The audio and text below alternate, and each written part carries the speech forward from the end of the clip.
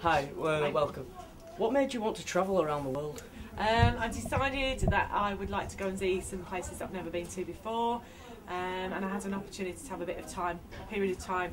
So I decided that I'd like to go and, and travel across different countries that I've not seen before.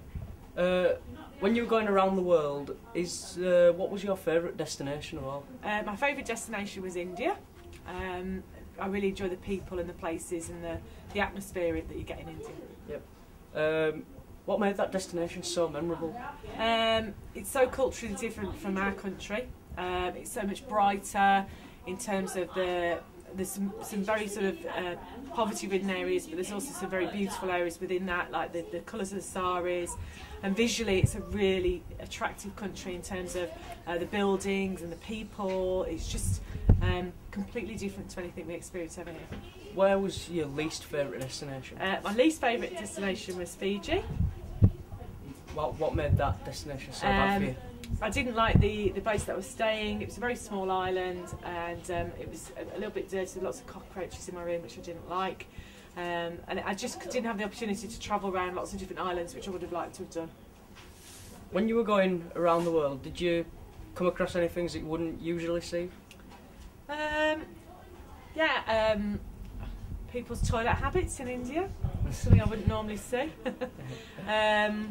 yeah, just it's, it's different. The different cultures and the way the different cultures are.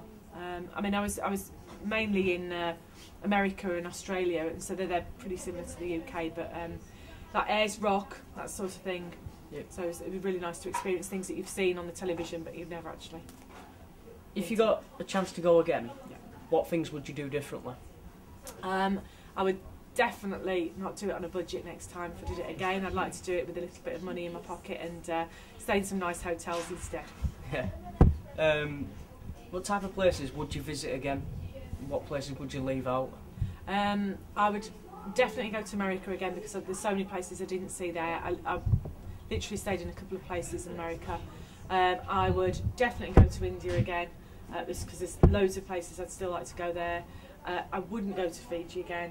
Um, I'm not too bothered about going to Australia. I feel like I've done it. Um, yeah.